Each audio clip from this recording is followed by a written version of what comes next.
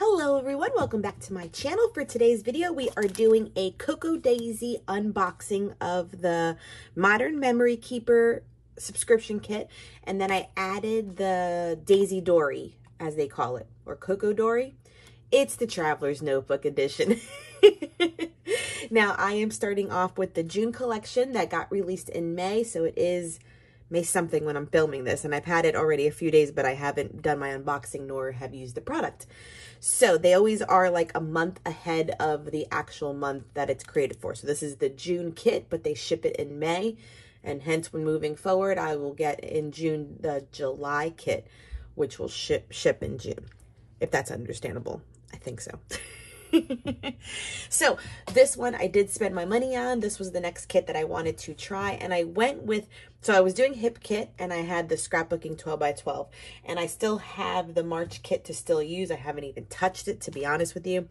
Um, so this was the next kit I wanted to try only because I wanted to start working in more of the traveler's notebook one, which you've seen me do.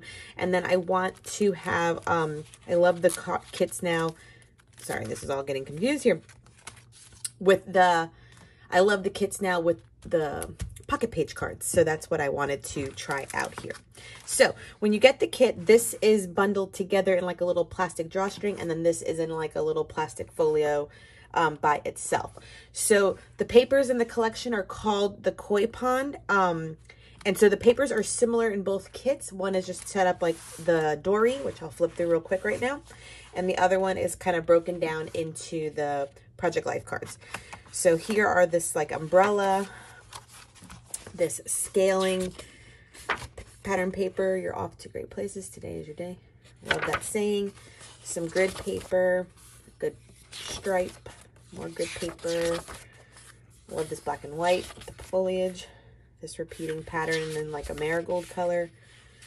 This orangey floral, more grid, repeating pattern. Another, oh, Mine's a little off right there. Very simple prints. I love the paint splatter. Love them, love them. So, you know, hopefully I can get in enough stories in here for this month using that. This little kind of um, tutorial and a little quote. Here's the card for the collection. And then they also had this one as a filler card letting you know about referring a friend, but you can use it for any month possible that you want. There is a pack of like die cuts. Let's see if I can use it. And I'm sure Christine from Cocoa Daisy herself, she has a full-on tutorial unboxing everything in more detail. So a few sentiments, a few icons, there's some numbers, an ampersand, some labels, and some more sentiments. So that's a really cute and simple packet that all coordinates. This is the stamp set with my kit. I love this repeating one, and then the foliage, and then the little sushis. And then there's like a definition on this side too. Love that. Some enamel dots that have glitter in them. then all of the cards came inside this glassine bag. Let's flip through them quickly and they are two-sided.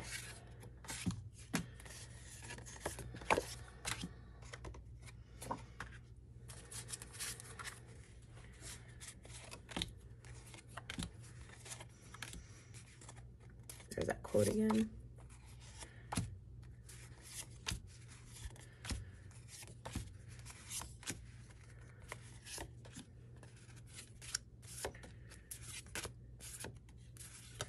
Love these sentiments. Love the colors. They're a little bit softer, so they therefore can go with more things. I, I love that. Love that too.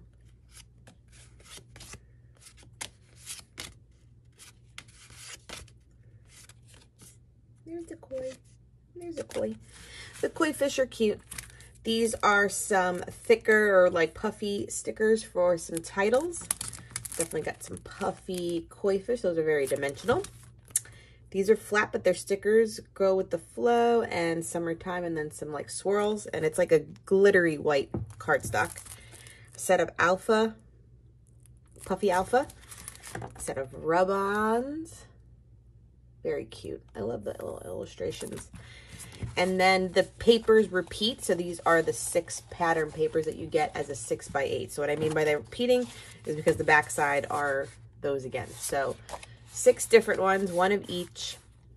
Love it. And so what I'm going to do now too is do a layout either using the kit here or maybe in the dory. So let's get started. Okay, so I decided to go with a Life Crafted size layout, which is just slightly uh, wider than a classic traveler's notebook, if you know, because in the this album size, it will fit um, into a page protector, including the hole punch. So it makes it a little bit bigger. So what I decided to do was mark off kind of like three different size uh, strips of the cardstock, and I'm going to make three pockets.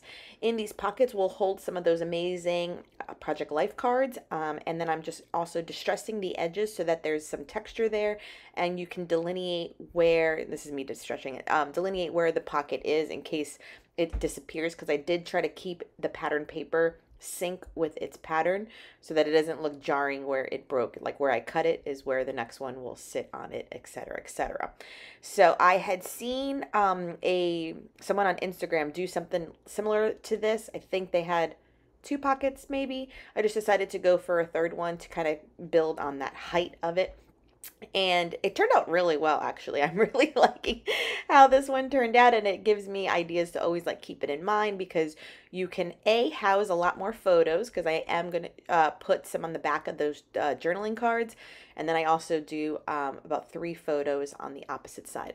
So here i am using those kind of like a foamy thicker titles. Um, I love that they're in white. They really pop off of the patterned paper. So I'm taking out the ones that say family moment and I staggered them just because all in a line it wouldn't have fit across. And I am scrapping pictures from this year's Mother's Day. So we kept it rather simple.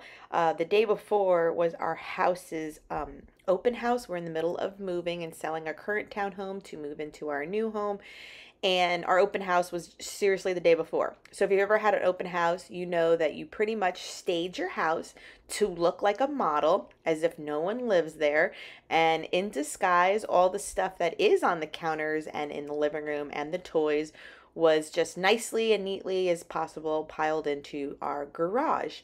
Um, so this day, you know, we're trying to, as I called it, like reset our house. So I really wasn't we didn't make many plans like both my parents and my in-laws understood this for us and so we just kept it to a nice simple lunch at my mom's house and she had recently redone her backyard. So the photos were nice and it was a simple day um, because we stayed for a few hours and then went home and like i said tried to reset our house for work on monday and school on monday too which is the next day which was a large task to do um, so I printed my photos. I believe they were like three by four, and then I did some two by threes, but I um, cut them down a little bit just so that I started liking this kind of like stair step look of them on the side. And I had enough of that orangey coral paper to mat the one that was furthest away from the strip at the end. I like that cohesiveness of keeping that strip. And then I matted the other ones on black, like a tiny matte border and um, matte black border, and it worked out great for them to pop off the page. So here I am now just kind of embellishing with the embellishments. Um, with the puppy stickers, these are the koi fish. I used a few of the ephemeras across the page and I like how it definitely makes them blend together. So this was a great technique. And on the back of the other cards, you did see me put a photo of me and Vale and then me, my mom, uh, and then my daughter and my sister because I made hand printed cards that were flamingos this year and they came out so cute. Um, I've done them every year and so hopefully I constantly have um, ideas for the handprint cards. So I even took the time to use a few of these rub-ons. I haven't used rub-ons in forever, but these little simple doodly um, flowers worked perfectly in these spots to add a little something to the top corner and bottom and add a little bit more black to the left side of the page. This turned out really good. And I even used the stamp. I used like every single kind of component of this kit. And I'm very happy so far with my Cocoa Daisy subscription. I have to commit for three months and then I can change it up again. Um, and I have to decide on which subscription I want to try next. Hope you've been enjoying me trying these out.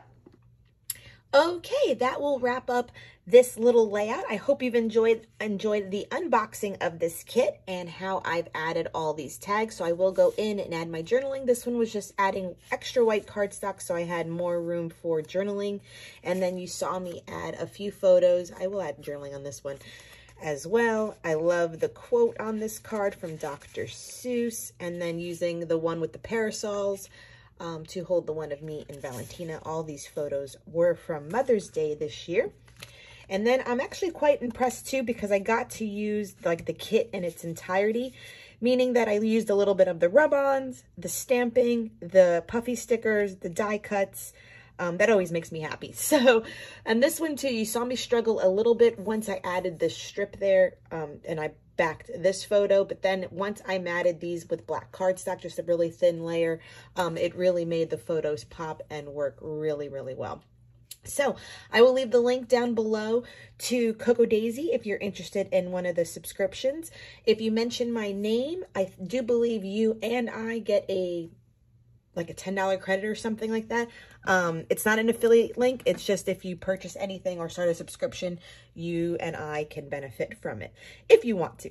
Um, no pressure, but I do, I do love the kit and I will be using it now for some Project Life layouts too. I've already kind of pulled some that I want to use um, on a spread to start off my month of May because I'm a little behind in there. But this turned out fantastic. I hope you consider subscribing. Please give this video a thumbs up and hit the bell notification to know when I upload. Till next time, everyone, keep it crafty.